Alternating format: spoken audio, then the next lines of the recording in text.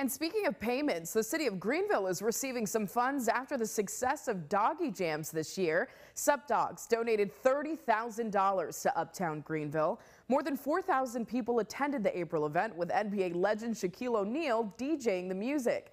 Courtney McGrath, the event branding director at Uptown Greenville, says this will allow the organization to continue to help the Uptown district grow and thrive. We will use this money to keep going with beautification efforts and making the district the best place to live, play, eat, shop, and invest.